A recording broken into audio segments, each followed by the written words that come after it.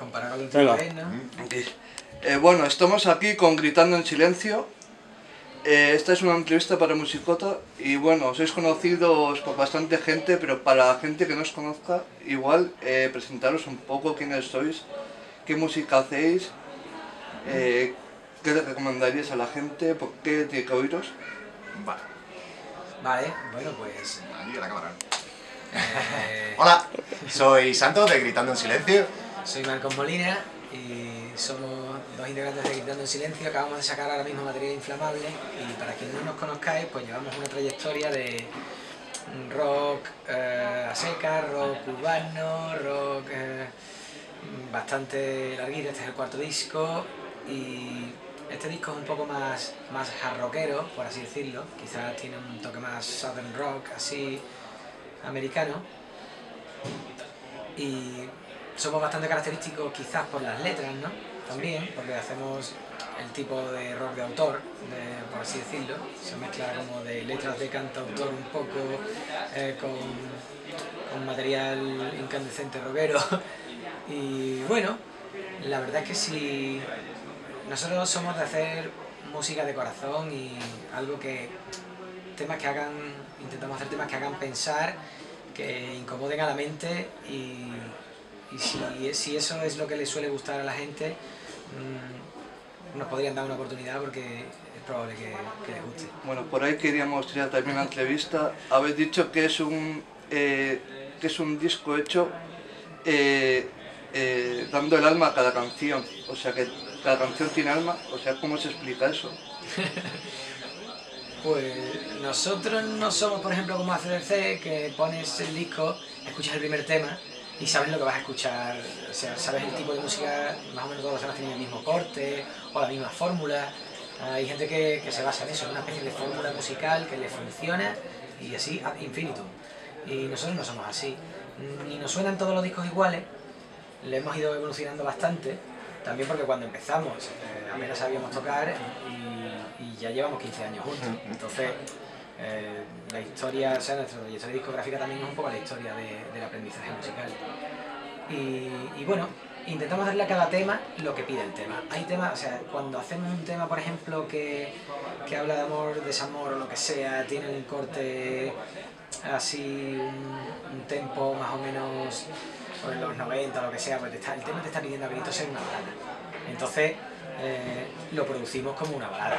Las guitarras más trancheteras, que cuelguen. Que, suene pesado, que si el tema te está pidiendo que aceleres o que toques otros palos, pues no nos cuesta tampoco cambiar de estilo. Mm, Y coquetear con el blues, con el hard rock, eh, toquecitos de metal, eh, no sé.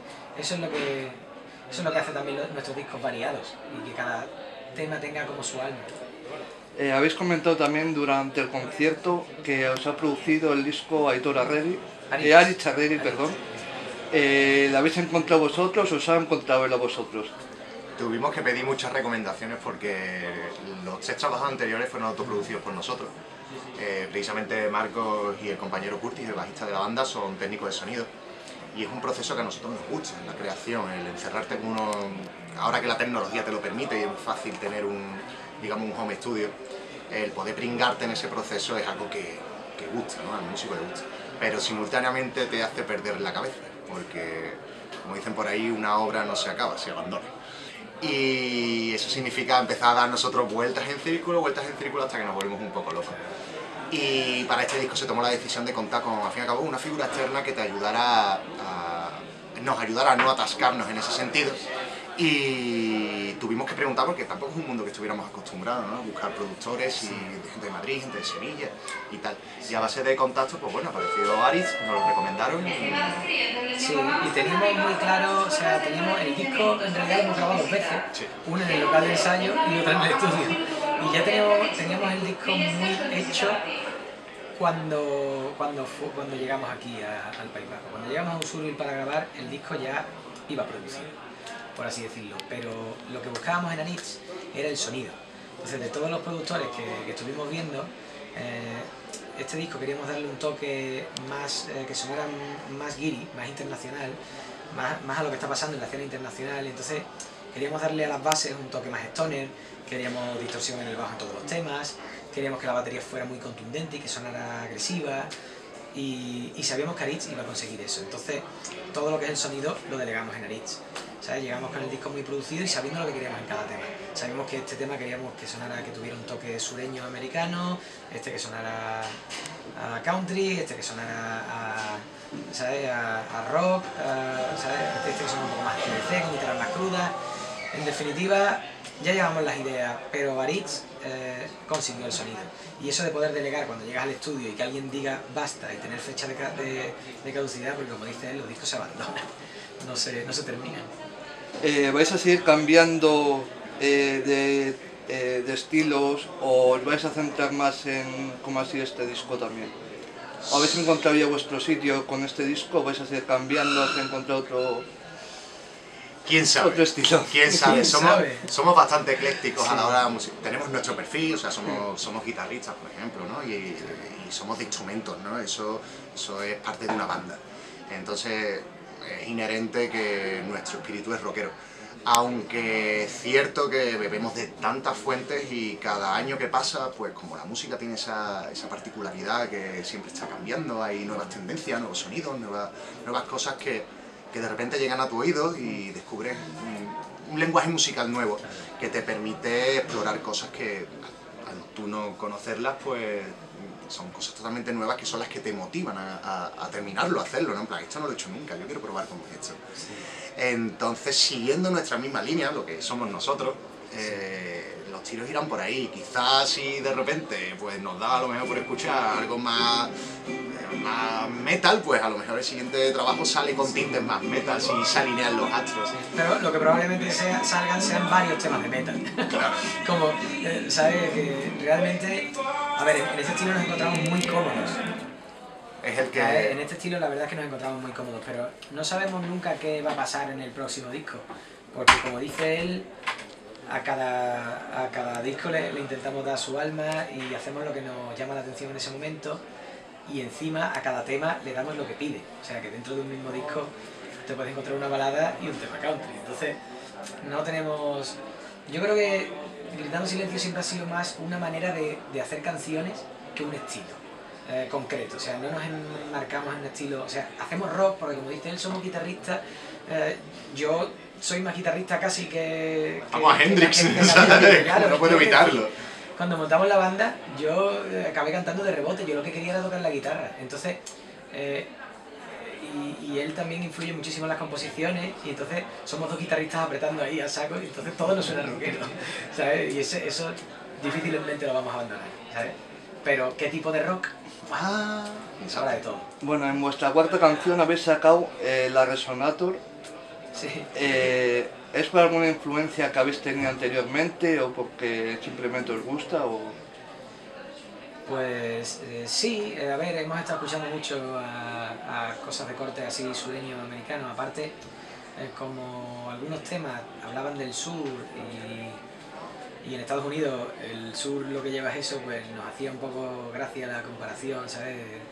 Un guiño. En vez de meter una guitarra flamenca, que es lo que habría por allí en, nuestra tierra, pues bueno, vamos a adaptarlo al mundo del rock. Está demasiado visto lo de la fusión con el flamenco, también está súper trillado. Claro. Y por ese guiñito, de rescatar esas raíces del rock y, explotarlas a nuestra manera o hasta donde nosotros sabemos hacerlo. Bueno, en vuestro último disco, Materia Inflamable, habéis dedicado tres canciones a los temas sociales. ¿Por qué tema social que hay en la, en la actualidad perdón, tendréis que gritar o tendríamos que gritar nosotros? ¿Uno que no está en el disco te refieres? O cualquiera que, que vosotros creáis que es importante ahora en la actualidad. Hay para gritar por él o, o varios los que creáis. El tema de los refugiados es una desgracia que fue el primer tema que hicimos para el disco y casi ya va hace casi un año después está más, más de moda que nunca. lejos de, de, extinguirse, sí, eso es una puta desgracia. O sea, nosotros lo hicimos por el conflicto, porque empezaba el conflicto sirio, ¿sabes? Y, empezaba la crisis migratoria de Siria y ahora está la caravana esa en México. y es que esto solo va a ir a peor, ¿sabes? Nosotros creemos que uno de los, de los, puntos por los que habría que, que, luchar más es por, por, porque empezarán a triunfar un poco los humanismos. y, porque, porque se usara más la, la, empatía, porque la gente aprendiera a ponerse en el lugar de otras personas. Si la gente aprendiera a ponerse en el lugar de los demás, muchas veces se ahorrarían un montón de conflictos. Eh, bueno, eh, habéis dicho en alguna entrevista que el rock es, un, es una representación que el mundo que nos rodea. Eh, ¿Podéis explicar a qué os referís con esa frase? Pues un poco como lo que ha explicado Marco respecto al tema de los refugiados. Eh, vivimos una realidad. Tú te levantas por la mañana y ves un problema en tu barrio o de repente te has enterado de que a tu vecina le han partido la cabeza. eso, eso existe, eso está ahí. Y esa... Eh, te llega al corazón y tú, por lo menos los músicos tenemos la necesidad algunas veces de expresarnos y utilizamos la música para ello. Hay gente que pinta, hay gente que le da por hacer deporte para desahogarse. Nosotros somos de tocar y de crear mm, contenido. Entonces todo lo que vives a tu alrededor te va impregnando y llega un momento en el que lo tienes que expresar y ya cuando ves que es algo tan dramático, por ejemplo, con algún tema protesta, pues te metes de lleno con ese tema y otras veces necesitas simplemente expresar algo que sea más de sentimiento, más de emociones, porque es nuestra herramienta de, expresión. Y en este caso, precisamente, por ejemplo, Marcos, que es el letrista, eh, sé que sus vivencias se aprovecha de nuestras vivencias y a partir de ahí va cocinando y, nos expresamos al fin y al cabo. Claro, es nuestra manera de cambiar la realidad, como dice la música, y lo usamos. Eh, ¿Cómo ha cambiado Gritando en Silencio desde Contratiempo hasta Materia Inflamable? Madre mía. Esa es dura, ¿eh? Esa es dura. Más gorditos, con más pelo en la cara. más mayores, con más, canas. más canitas. También sabemos tocar más. Bueno, quizás Contratiempo fue nuestro disco más ingenuo, porque llevamos poquísimo tiempo tocando. Y después llegó Maldito, que quizás fue nuestro disco más introspectivo. Después llegó La Edad de Mierda, que fue el tercero y quizás fue nuestro disco más reivindicativo porque se gestó en un clima de tensión social, acabó de estallar la crisis, la gente lo estaba pasando putísima y entonces inevitablemente se contagia de, la realidad, de lo que vive el grupo y de lo que, de lo que observa en la realidad, como, decía él. Y este cuarto disco, pues de alguna manera, vuelve a ocuparse de lo que, de lo que es eh, la introspección, otra vez, o sea, de temas de temas, mm, de temas del corazón, de, lo que merece la pena en la vida, las cosas que no merecen la pena en la vida. Superarse. Claro, la superación, las metas, el, perseguir, perseguir objetivos que están más allá del horizonte, que perseguir sueños en la bruma. Habla también de este disco mucho de echarse la maleta al hombro y de, continuar por muy que estén las cosas, porque siempre hay un sitio al que llegar y al que, y al que convertir en tu propio hogar. Y, y bueno, de alguna manera este disco ha vuelto un poco a los orígenes en cuanto a letras, ha vuelto un poco a lo que nosotros escuchábamos, al hard rock clásico, al rock clásico, que nos empapaba cuando montamos la banda, y ha hecho una batidora con todos los discos anteriores. Hay un poco de todo lo demás, hay introspección, ¿sabes? Hay, reivindica hay tres temas reivindicativos, hay... Bueno, y vamos ya terminando. Eh, te hemos visto en el escenario con el teléfono móvil ¿En qué cosas habéis innovado o estáis innovando en la banda? Para nosotros, bueno, nosotros somos una banda estándar, ¿sabes? Tampoco ni somos los peores ni somos los mejores, pero es cierto que hay cosas que nunca hemos experimentado, por ejemplo tener un técnico de sonido residente. Es difícil para nosotros estar de gira y añadir a una persona más en el equipo para hacer un trabajo que en el fondo es necesario y que te pones a ver la realidad de la música y es que el resto de bandas por ahí grandes suenan que es una barbaridad y es, imprescindible tener, por ejemplo, una figura como un técnico de sonido que trabaje contigo para hacer ese trabajo, es otra, otra persona más del equipo. Y bueno, ahora este año pues tenemos la suerte de poder contar con Eduardo Ruiz Hoyer, que va a trabajar con nosotros en esta temporada y es un elemento ya importante, pero y sobre todo en ese caso es para respecto a lo que va a recibir el público. Eso no es tanto para nosotros como para ofrecerle al que viene a vernos, que, viene con su ilusión, lo mejor posible y que, si tienes un problema con la sala, que tu técnico te lo pueda arreglar ¿no? y que nadie se lleve una mala experiencia en ese sentido. Después, por otro lado, pues bueno, hemos invertido también en, equipo técnico para poder trabajar nosotros mejor, ¿no? Un sistema de, monitoraje interno para escucharnos nosotros, eh, amplificadores más actualizados que la tecnología ayuda y te permite, pues, también sonar un poquito mejor, limpiar ruidos en los escenarios y Sí, hemos quitado, hemos quitado los monitores, nos hemos puesto INIAS, ahora vamos con inalámbrico. Es que si quieres jugar o sea, En la liga para, jugar en la primera división, eh, tienes que dar ese salto y bueno, nosotros hemos tirado toda la carne en asador con el disco y también lo hemos hecho en, en el tema técnico, como él dice, llevando un técnico residente que además fue, es el técnico que nos mezcló los, Los tres primeros discos, anteriores. ¿sabes? Los tres primeros discos nos los mezcló él Claro. y limpiando el escenario de, monitores, llevando INIAS eh, y incluyendo cierta tecnología, ¿sabes? Que hace que todo suene muchísimo más limpio y que la gente pueda disfrutar y no tenga que estar preocupado por decir, joder, es que no, hostia, están dando un pedazo de bolazo y, no se escucha la voz. Eso no puede pasar. Esto porque ahora mismo hemos dado, por ejemplo, un directo en la FNAC hemos tardado un poco más porque eh, arreglándonos nosotros nuestra, ¿sabes? Nuestro propio Sonido. nuestro propio sonido. Pero eso en eléctrico en la gira no va a pasar. Y además lleva, lleva algo de escenografía, ese tipo de cosas. Eh, como a los artistas os piden otra en el escenario, pues yo voy a a hacer otra pregunta. Vale. Y es, en las redes sociales habéis tenido mucho muchos seguidores de Latinoamérica Sí. y muchos comentarios positivos. ¿Tenéis pensado hacer alguna gira por allí? ¿Os vais a atrever a ir hacia esas tierras? Ha sido Ey. sorpresa, ¿eh? Eso sí es sorpresa. Pensado sí. Atrevernos no lo sabemos.